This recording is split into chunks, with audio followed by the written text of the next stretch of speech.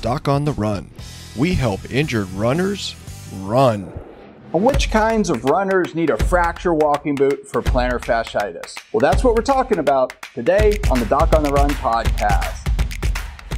All right, which kind of runners really do need a fracture walking boot for plantar fasciitis? Is it somebody with mild plantar fasciitis, moderate plantar fasciitis, or severe plantar fasciitis? Well, the reality is, is there are only two kinds of runners that I think really need a fracture walking boot for plantar fasciitis. Number one is runners who don't mind losing all their running fitness. Now, I've done lots of episodes on fracture walking boots, and I actually think they can be fantastic tools used for a short period of time for lots of different conditions. But when given the normal four to six weeks of time in a fracture walking boot just to see if something will get better, you only have one guaranteed result with that, and that is that you are going to lose your fitness, you're going to get weaker, you're going to get stiffer, you're going to obliterate all your neuromuscular connections that make you efficient and have you maintaining good balance and form when you're running. And all of those things together create this constellation of symptoms and problems where you're more prone to re injury.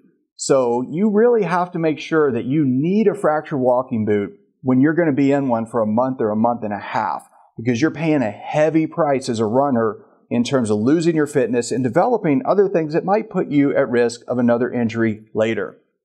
The other group of runners who really need a fracture walking boot for plantar fasciitis are those that basically assume they have the wrong diagnosis. So if you've been told that you have plantar fasciitis, but you don't really think it's plantar fasciitis, you think you have something like a calcaneal stress fracture or a uh, partial tear or rupture of the plantar fascia, well, you might really need a fracture walking boot then. If you actually have something else like uh, flexor hallucis longus tenosynovitis, doesn't really matter what that is right now, but if you have another condition that really needs to be held still, where you really need immobilization, then yeah, you might need a fracture walking boot. But for straight up real plantar fasciitis, no way. It is really, really, well, never would I put somebody in a fracture walking boot? It's not even rare, it's never that I would put you in a fracture walking boot if you have real plantar fasciitis. Plantar fasciitis you can cure most of the time with really simple things that you can do yourself at home without injections or surgery or